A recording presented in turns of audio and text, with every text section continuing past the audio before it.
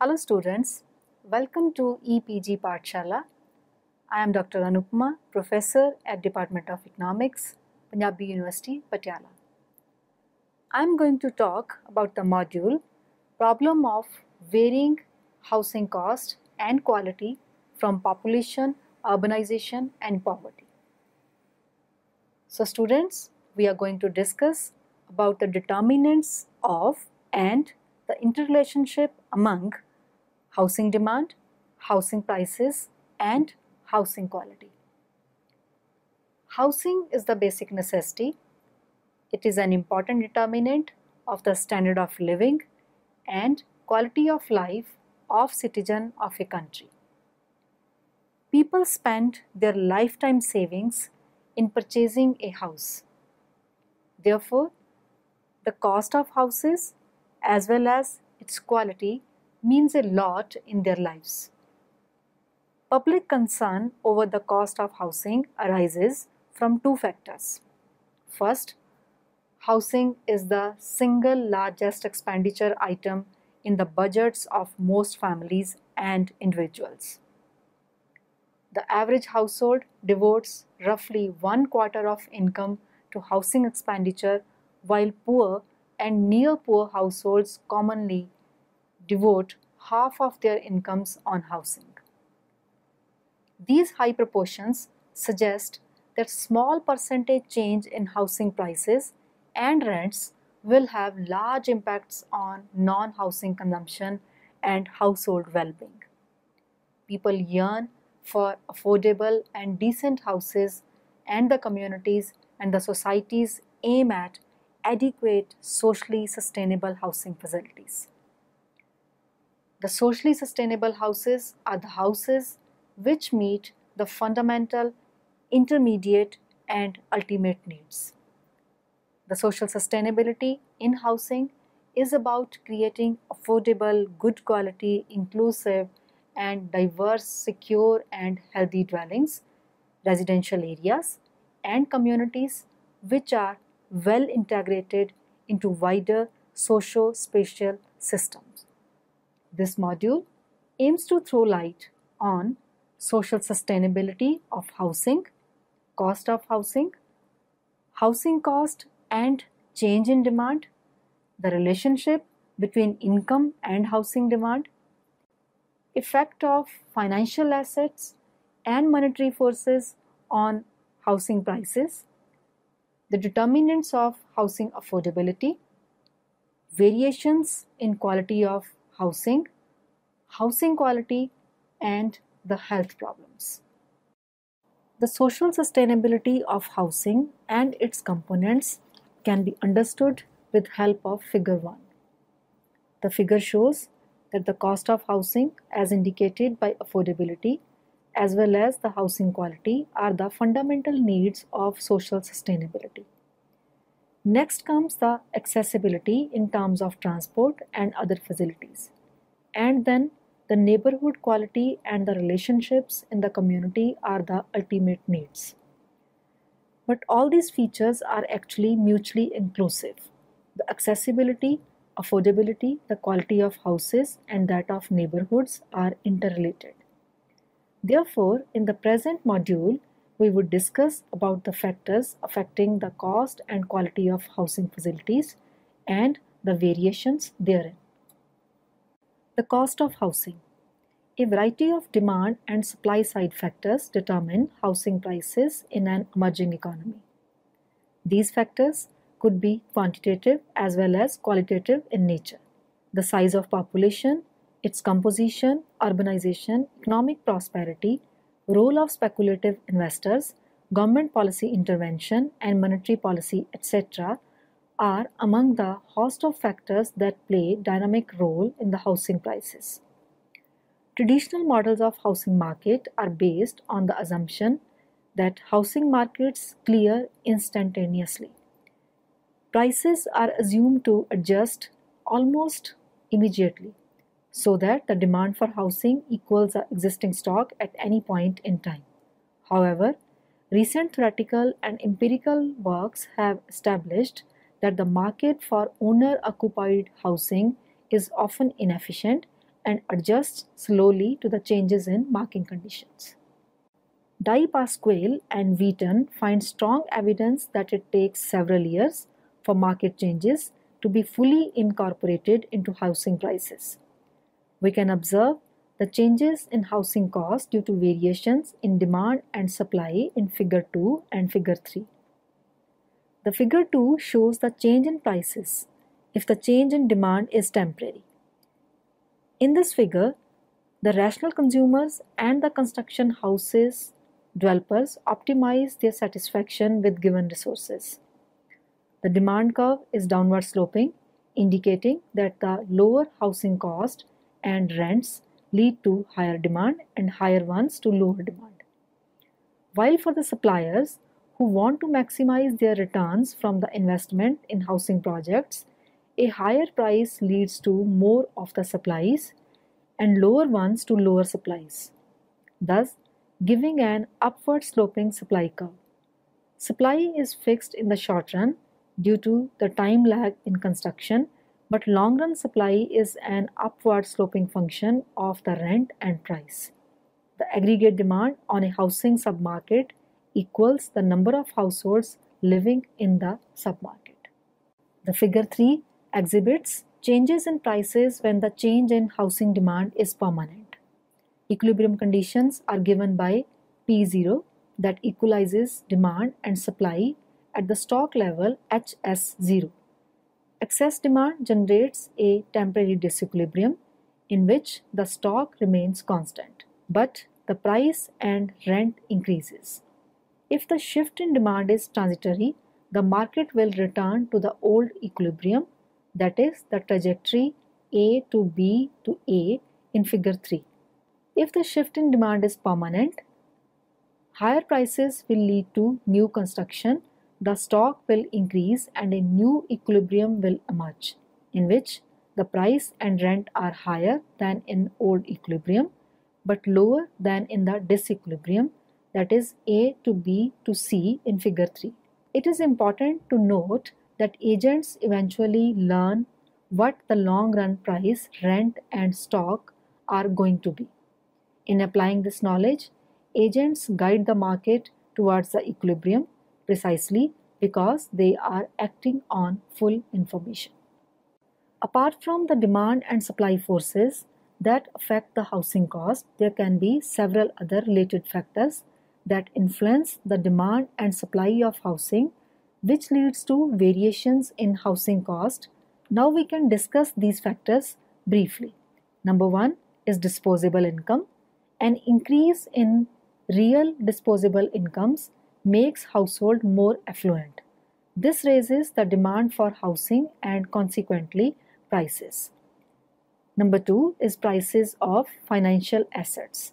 The prices of financial assets, namely stock prices, may also have a two-way causality relationship with housing prices given the household's portfolios comprise both financial and physical assets. This bilateral causality relationship suggests that stocks and housing assets act as alternative investment avenues for households. Housing usually requires a large initial money capital compared to buying or investing in stocks and shares. It is also true that owner occupiers cannot afford to sell and buy houses just following a small change in prices caused by economic circumstances because of relatively high cost associated with acquisition of housing and the investment on it is also long term in nature. Home prices are very sticky downward. When there is decline in price, house owners would not rush for selling the house expecting there would be a further decline in prices. Rather, they would hold it even at lower prices. It can therefore be argued that stock and housing market are two independent markets with no short-term causality in either direction. But there could be a long-term relationship when returns on stocks improve it gives rise to wealth and that can be utilized in holding house assets by the individuals. The monetary factors. However, housing prices could have one-way causality relationship with monetary factors. Low interest rates, that is the cost of borrowing, may lead to surge in housing prices when it is complemented with abundant credit availability and therefore increase in housing demand. There may not exist a feedback relationship from house price to cost of credit. Besides, increase in prices of construction material, labor cost, fuel prices, prices of electricity, higher tax rates are some other factors that shift the supply curve in upward direction and thus leading to rise in housing prices. For consumers, the housing cost not merely includes the housing prices, but it also includes the cost of amenities, the accessibility, as well as the cost of maintenance. Now let us discuss about housing affordability. The issue of the cost of housing, whether rental or owned houses, is actually associated with the concerns for affordability of the houses, particularly if the policies aim at maximization of the welfare of the citizens. Many countries and private consultancy service companies prepare a housing affordability index. Some use it merely for calculating if a typical family could qualify for a mortgage loan on a typical home, while for others, these indices are indicators of market trends which can be equally used for the consumers sellers, investors as well as the state. Broadly, these indicators take into account the interest rate on housing loans, the disposable income of the consumers, the rent rates which are average or the area specific, the housing prices, etc. In most of these indexes, the base value is either taken as 100, for example, in case of uh, Housing Affordability Index, of National Association of Realtors from USA or this can be 1 for example in case of International Residential Property Price Indices. A value of 100 or 1 shows that the median family income is just sufficient to purchase a median priced home. Important components of Housing Affordability Index can be discussed as follows. The first component is price to income ratio, which is the basic measure for apartment purchase affordability. It is the ratio of median apartment prices to median familial disposable income. Here, net disposable income is defined as 1.5 times the average net salary and the median price is defined as average price of a square meter in city center and outside of the city center.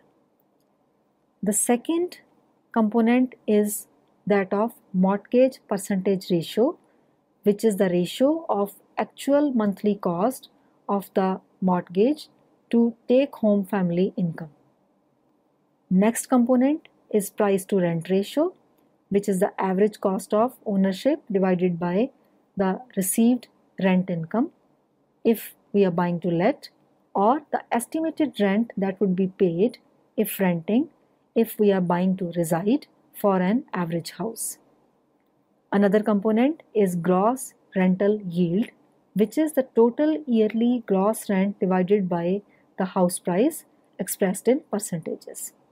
And another component is that of loan affordability index which is an inverse of mortgage as percentage of income that is 100 per mortgage as percentage of income.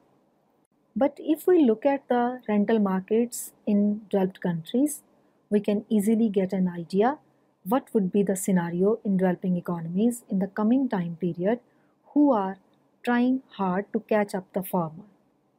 The distribution of houses by tenure arrangement in few selected developed countries is shown in table 1. The table shows that more than 30% of the housing is rental housing, while on the other hand, the rental housing in India has very low penetration as compared to the developing countries. Table 1 further elaborates that out of the social housing stock, the relative share of the pure public sector and that of the profit and non-profit organizations are country specific. For example, in Ireland and Australia, about 90% land and 80% is contributed by pure public sector alone, while in European region, that is France, Netherlands and Denmark, nearly whole of the social housing is provided by the profit and non-profit housing associations.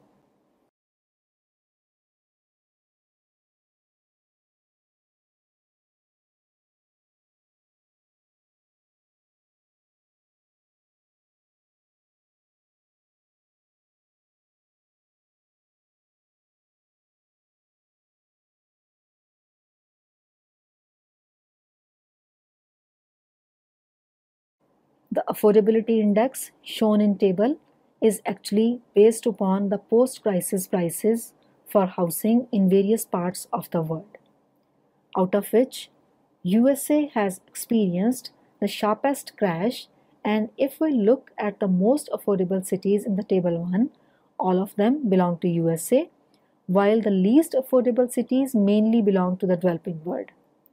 In the post-crisis period, the housing prices did not fall homogeneously across the world.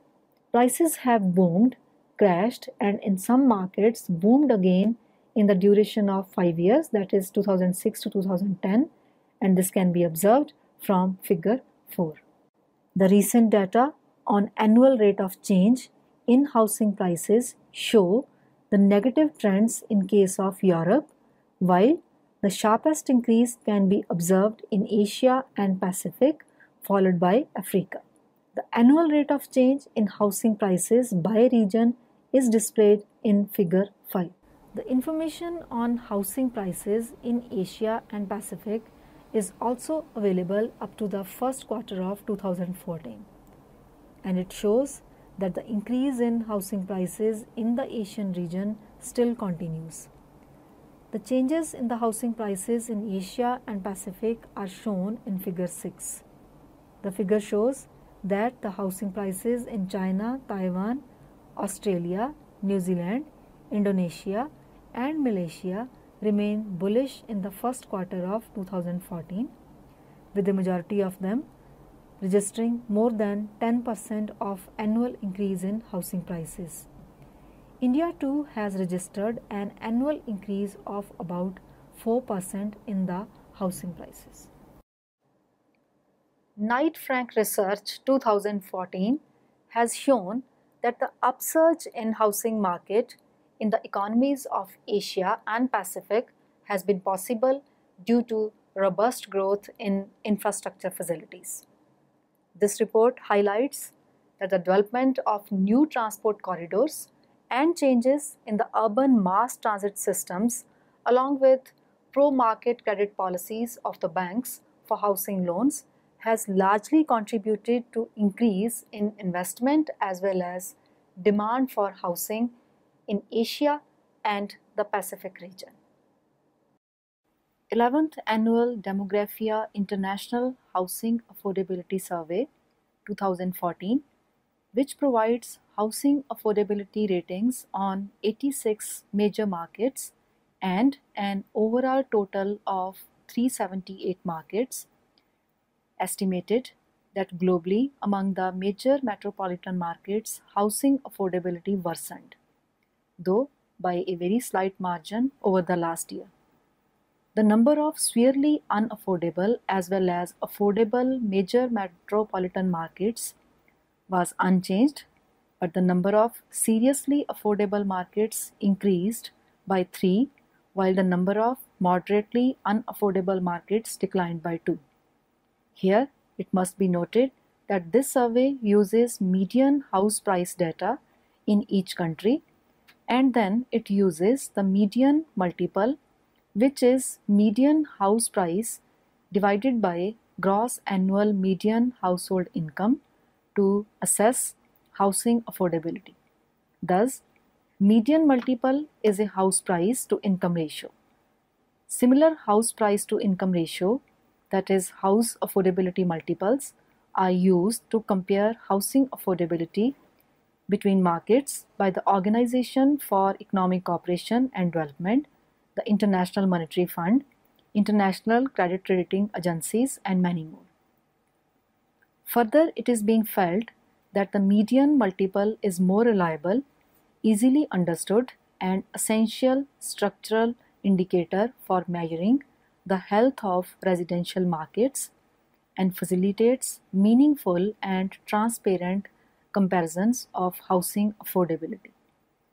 Further to this, the median multiple provides a solid foundation for the consideration of structural policy options for restoring and maintaining housing affordability in local metropolitan areas.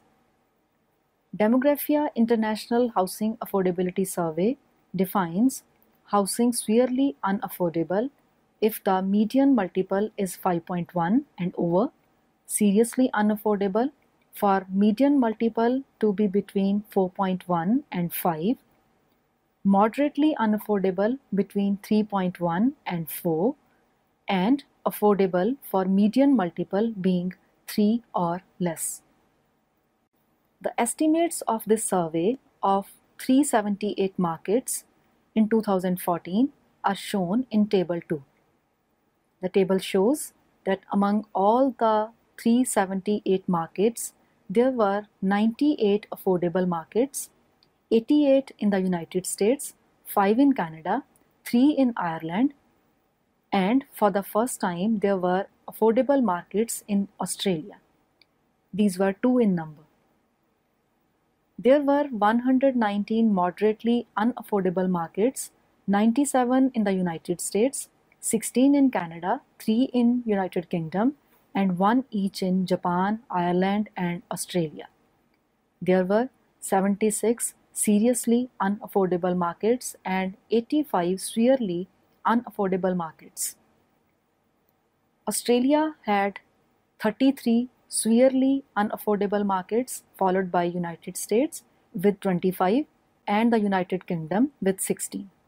New Zealand and Canada each had severely unaffordable markets while China's one market, that is Hong Kong, was also severely unaffordable. Further, it was also estimated that the most affordable major markets were Detroit with an index value 2.1, Rochester, New York with index value 2.4. Housing was also affordable in Atlanta, Indianapolis, Columbus, and Oklahoma City with their stronger economies.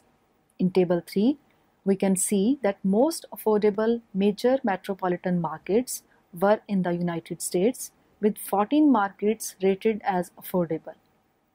Hong Kong's median multiple of 17 was the highest recorded, that is, the least affordable, in the 11 years of Demographia International Affordability Survey. Again, Vancouver was second only to Hong Kong with a median multiple of 10.6 housing affordability in Sydney deteriorated to a median multiple of 9.8, which was followed by San Francisco and San Jose, each with, a, each with an index value of 9.2. Melbourne had a median multiple of 8.7 and London 8.5. Three other markets had median multiples of 8. or above, including San Diego, Auckland, and Los Angeles. Variations in quality of housing. Since cost of the houses along with the disposable income of the individuals are important determinants of the affordability, it would also have important impact upon quality of housing one resides in. Poorer residents and the households live in low quality houses and are more exposed to health problems related with poor housing quality. A WHO report on housing conditions and health problems has shown that low income households have a greater possibility to live in the damp houses, with poor ventilation conditions and sanitation facilities which further results in health inequalities. This study is based upon 8,519 participants from 3,373 households. The main results of this report regarding variations in housing quality across different income groups are discussed as follows. Houses with damp and mold growth. The poor quality houses are generally poorly ventilated and therefore inflict dampness and mold growth. Damp is much more common in houses of the lowest income groups as compared to the highest income group. This is shown in figure 7. The figure shows that the occurrence of damp in low income households is almost four times higher as compared to the high income households. So is the case with mold, although on a somewhat lower level.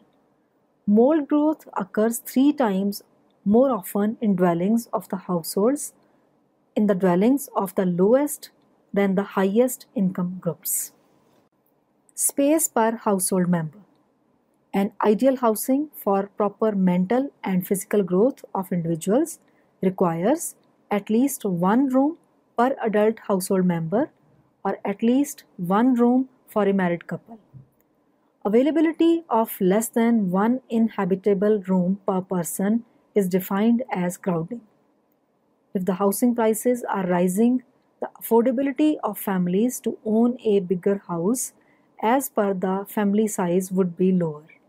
In a costly housing markets for own as well as rented houses, low and middle income groups face the problem in paying the house expenditure, which results in lower space per household member or crowding. Crowding is much more common in low income households, that is, the households that have problems to pay their housing expenditure. Figure 8 shows that the problem of crowding can be found almost two and a half times more often in households reporting financial problems than in those whose housing costs are not perceived as a burden. Noise disturbance. A home is a place where one can live in one's own desirable way. Peace and tranquility in the daytime as well as in the night is the most important factor for a comfortable living. An adequate and undisturbed sleep is the most important factor for a healthy living. In noisy houses, people also suffer from sleep problems. People with low affordability live in houses located in such areas which are exposed to frequent noise disturbances, while the rich or those who do not have any problem to pay housing expenditure prefer to live in less crowded or less noisy areas. In figure 9, we can see that the dwellings of the households reporting problems to pay their housing expenditure. The frequency of noise disturbance is at 33% as compared to about 21% for households that have no financial problem to pay housing expenditure. The exposure rate of 21% for well off households however, shows that noise exposure is a general environmental problem for all population groups. Housing quality and health problems. The inequities in distribution of good quality houses are closely associated with inequities in health risks. The residents of poor quality houses are more exposed to health hazards. The households with lower incomes have lower affordability to quality houses and suffer from more of the health problems as compared to the households with no financial problems to pay housing expenditure. Thus, the financial capacities have a strong impact on health via poor housing conditions. The dampness in houses, mold growth, poor air quality, water and sanitation facilities, etc., may cause infections, bronchitis, tuberculosis, pneumonia, and many other health problems. The WHO study has indicated that the low quality houses show poor health outcomes as they are exposed to multiple risks. This study has shown that there exists a close relationship between. So students, let us sum up what we have learned from this module. We all admit that housing is an important indicator of quality of life of an individual. Purchase of a house is a lifetime investment for an average person as it consumes a significant proportion of one's income and savings. The type of house in which a person lives depends upon the cost of the houses, the disposable income and the facilities which determine the accessibility as well as the affordability of houses. Housing affordability is an important determinant of the standard of living because higher cost housing leaves less in discretionary incomes. Thus, the differences in income and cost of houses lead to differences in access to various types of houses which lead to differences in quality of houses. It has been observed that the low income families live in low quality houses due to their lower paying capacity of housing expenditure. But the poor quality of the houses also leads to several health problems. Therefore, any policy targeting at reduction of poverty and improvement of health status of the citizens must take care of housing quality in their policy framework. A control on housing prices, provision of subsidized houses for the targeted income group and providing for easy credit facilities can be important steps in this regard. Since housing is a basic necessity, until it is not paid due attention, the benefits of urbanization would not reach the common masses. Thus, for inclusive growth, the control of cost and quality of housing needs urgent policy attention. That's all with this lecture. I hope you must have enjoyed it. Thank you.